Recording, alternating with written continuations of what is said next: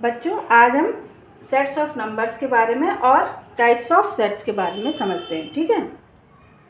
तो ये है नेचुरल नंबर्स नेचुरल नंबर्स को हम एन से डिनोट करते हैं।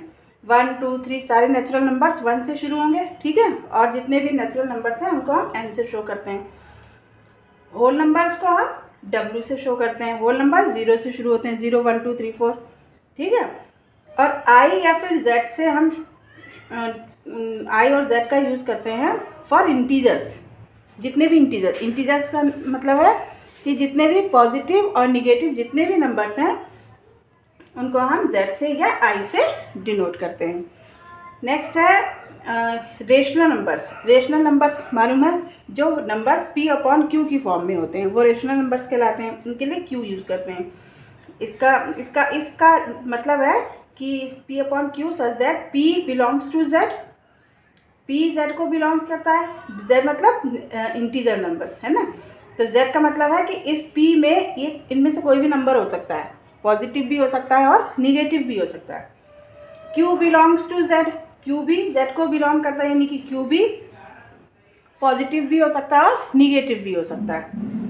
बट एक कंडीशन और है इसमें। Q does not belongs to zero मतलब क्यू ज़ीरो नहीं होना चाहिए। क्यू जो है, नीचे वाली संख्या ज़ीरो नहीं होनी चाहिए। बाकी और इसके अलावा कोई भी हो। क्यू में। और पी में?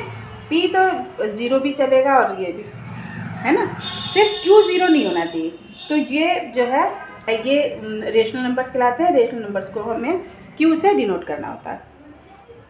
तो ये ये तो हो गया सेट्स ऑफ़ नंबर्स अब आई types of set type of sets में सबसे पहला है finite set finite set is set in which the process of counting of element surely comes to an end जिसकी हमें निश्चित संख्या मतलब मालूम है कि इस आ, इस संख्या पर एंड हो जाएगा इसका है ना? निश्चित वो वो कहलाएँगे finite sets for example set of all prime numbers less than hundred hundred से कम के सारे प्राइम नंबर्स तो ये क्या है? एक लिमिटेड है इसमें. पता है कि सौ एक निश्चित संख्या पे एंड होगा इसका, है ना? तो वो कहलाएँगे फाइनाइट सेट दूसरा है जैसे example set of all persons on the earth earth पे जितने भी पर्सन हैं, उनकी भी काउंटिंग की जा सकती है है ना? तो ऐसे नंबर्स या ऐसी चीज़ें जिनकी हम काउंटिंग कर सकते हैं, वो कहलाएगा फाइनाइट सेट में. वो फाइनाइट सेट कहलाएगा. दूसरा है टाइप इनफाइनाइट सेट इनफाइनाइट में अनकाउंटेबल चीज़ें. जैसे a set which consist of an uncountable number of distinct elements uncountable जिसको हम काउंट नहीं कर सकते।